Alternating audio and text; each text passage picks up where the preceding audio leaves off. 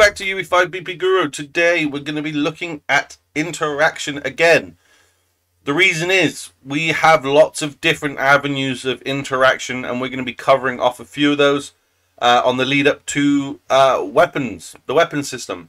It is coming. I know a lot of people have been asking, when's weapons coming? It's coming. I promise you it's coming. Um, but we've got lots of different avenues of interaction. Uh, today we're going to be looking at opening doors, but you know, there's obviously like talking to NPCs, there's interacting with the world, there's uh, picking and up and dropping items, and, and all sorts of things. Uh, and we're going to be kind of slowly ticking them all off while we kind of head towards weapon system. Uh, I'm going to be covering doors today. I'm going to do dialogue tomorrow, maybe, or the next day, whenever I, I can do a video. Um, and then we're going to do uh, picking up items, and then we're going to do uh, cover like our inventory and how we're going to equip weapons, and then we can get into all the good stuff. So uh, I created this door on Blender. I mean, I'm not going to lie, it took me all of five minutes to make. Uh, it's nothing special. It's supposed to kind of look like one of those um, uh, kind of old medieval great doors, you know, that, that kind of like lift up um, with the spikes at the bottom. It, it's not great. I'm not going to do a tutorial on how to make this because it literally is like five boxes and like 10 cylinders and I just kind of jammed it all together and, and it, it it's here. The material is literally just the metal rust material that comes in with the UE, UE5. It is not optimized. It looks terrible. I know this. It actually looks more like wooden planks. But whatever. We won't we won't question that. so we need to get this thing moving now. I've dragged this straight into um, the uh, engine straight away. I've made an assets folder. It's here, iron grey. I've even got a sound I found on the internet, um, so we can get it sounding like it's actually opening. It's this is going to be a very similar tutorial to the one I did uh, for UE5, uh, the UE FPS tutorial we did, you know, uh, nearly a year ago. Uh, I'm not going as in depth as that, so I will link that one in the description below. Um, this one will just be covering the opening and closing because we're doing it in a different way with a different interaction system. So we don't need the kind of collision parts. We don't need to know a lot of things. Um, so let's get stuck in, shall we? There's nothing we really need to do on the component side of things because again, we don't need the collision boxes or anything. So we can go straight into the event graph. We don't need the event begin plays or any of that stuff. The one thing we do need to do is go into the class settings and add in the interface on the right hand side here. Uh, so if I find that interact BPI, there it is. Um, we can double tap to get that uh, interface. Inter there we go. And all we need to do I say all we need to do. There's quite a bit we need to do, but um, we'll we'll, we'll get there one at a time. Oh. Okay, so if you did watch the original FPS series, you'll know we did the kind of unlock and lock kind of color panel. We're not going to be doing any of that because it's not sci-fi game, and it's we're we're just doing a medieval kind of lifting up and down kind of door mechanic. So and we also don't need to do the, as I just mentioned, we don't need to do the overlap component. So we just need to kind of worry about the actual mechanic itself. Um, for this, we're going to need three Boolean variables. The first one is door unlocked. Um, we also need door closed. And we need is opening. The door unlocked needs to be um, instance editable and exposed on spawn. Uh, for that, so that's that's all good. Um, now we just need to do the actual code. So we're going to start off with holding down B and getting a branch.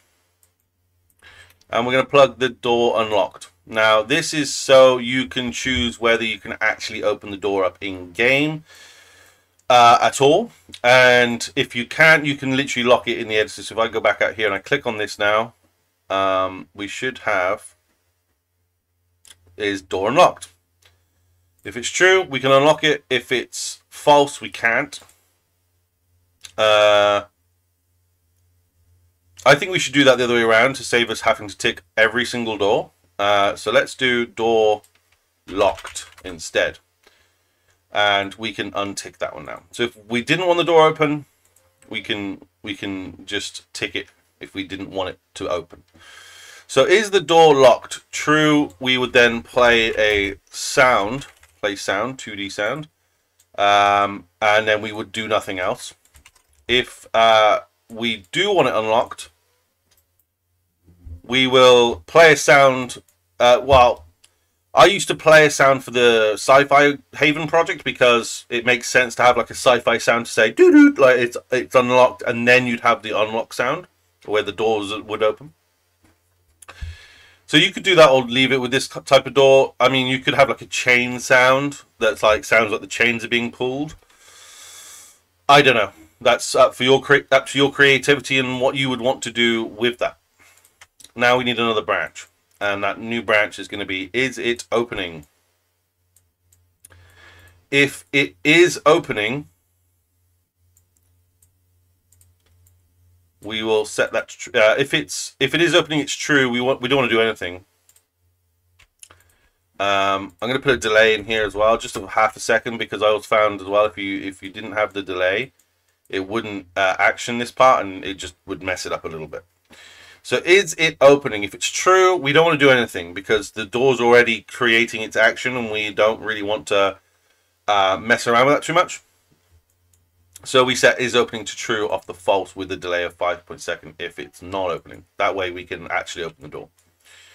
Then we need to determine one last final thing. Is the door closed? So are we opening said door or not? And this is where we're going to take these two play sounds and put them over here because we're going to want to play the door opening sound. You could have a different sound for opening, you could have a different sound for closing. Uh, the sci-fi one it works better with two different sounds, but for the sake of this, I'm going to have the same sound. If I can, if I could drag it in, there we go. There we go. So we're going to play the same sound, and then, depending on what we're doing, we're going to set the door is closed to something. So if the door is closed, we want to open it. So we set door closed to false. And then we set door closed to true. It also means that we need to have the default of door closed set to true. So don't forget to go click on door closed here and set it to true. Um, so just to quickly, before we go into the timeline side of things, just to just to, to clarify, door is locked. If it, if is the door locked, so have we locked it in the world so we can't open it at all? If it's true, we just play the lock sound. If it's false, we play it is unlocked sound or nothing. Then we check to see if the door is opening already. So have we already pressed E previously to this this E interaction? If we have, we do nothing. If we haven't, we can actually open the door. We can actually run the code. We run a delay of 0.5 seconds, purely just to um, give it a chance to set the door, uh, to make sure we, we're not spamming and doing all that sort of stuff. In all honesty, this might not be necessary, but we'll see. We can always test it. Uh, we set is door opening to true so that we can't repress E. Um, we do a branch check on door closed so that we can see if it's open or closed already. If it is closed, we open it. If it's uh, open, we close it. Now we can right click and get a timeline.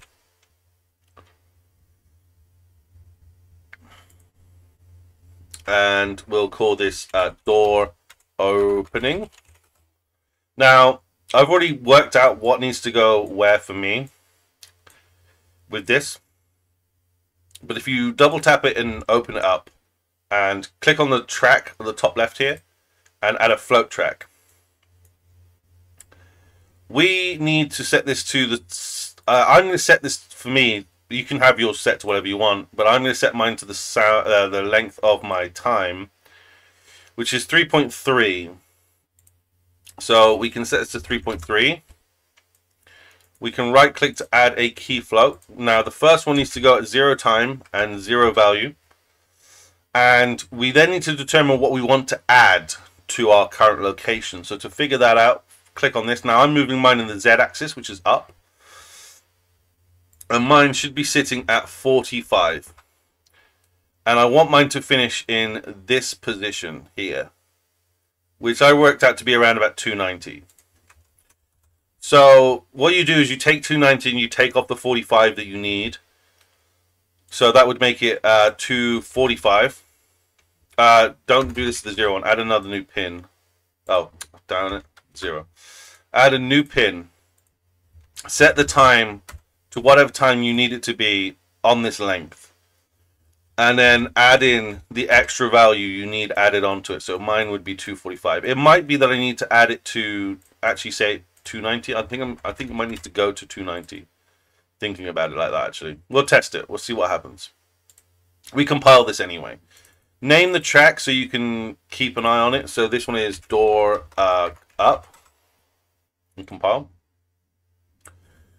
and then we can um, go back into the event graph.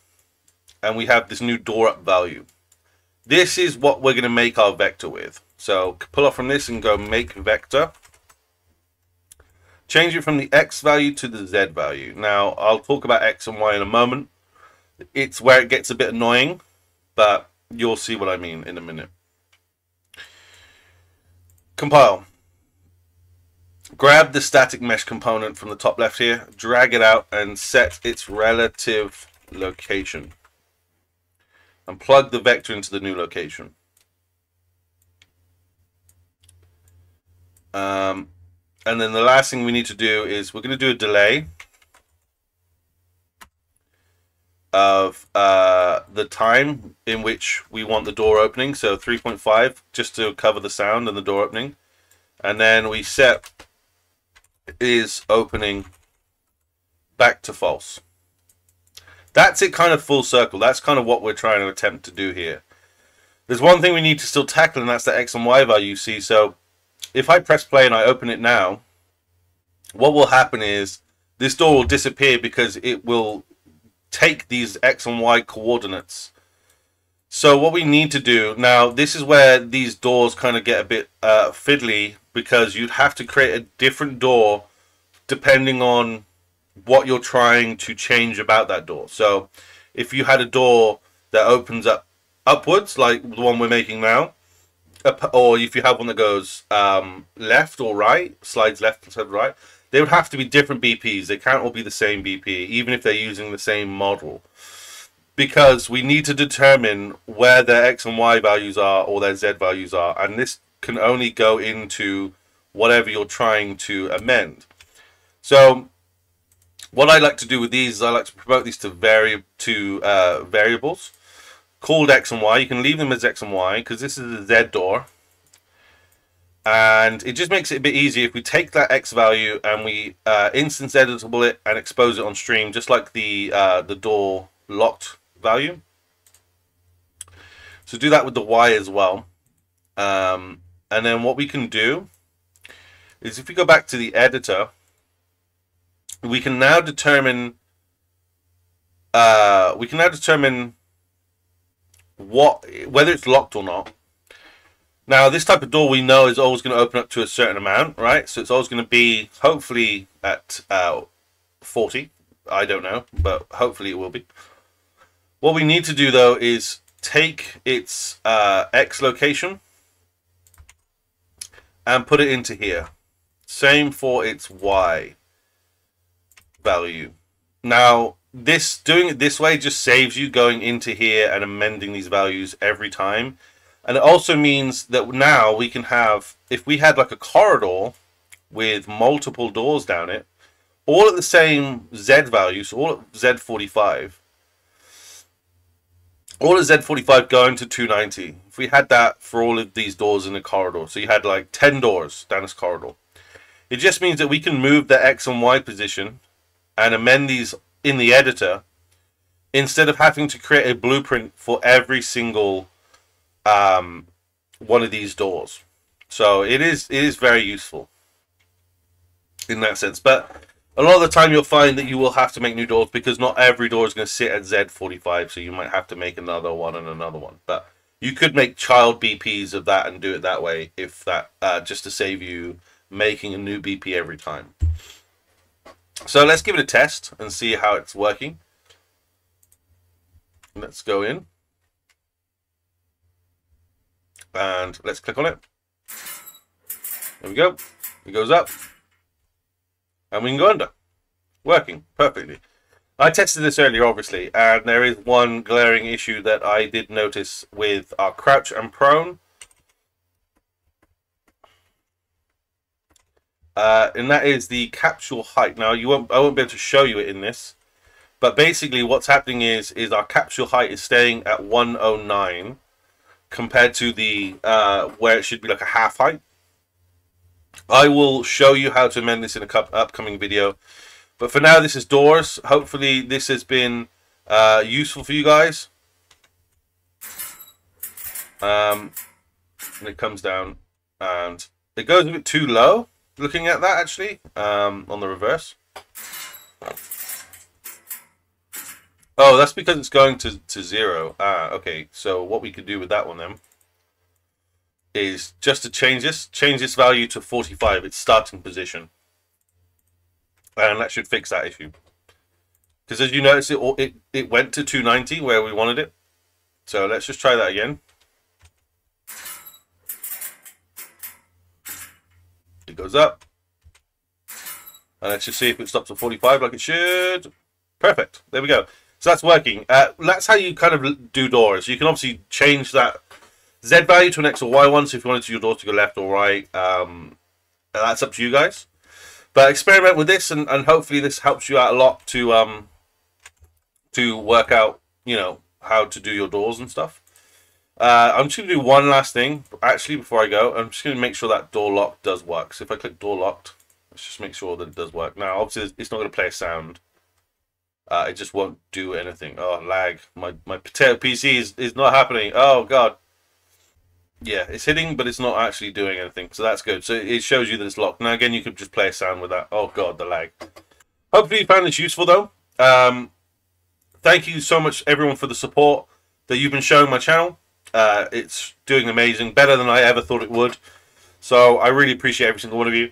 Uh, if you haven't already joined the Discord, there's loads of people in there that's like-minded like us, uh, all trying to make video games and stuff. And uh, I'll see you in the next episode. Much love. Take care. Bye.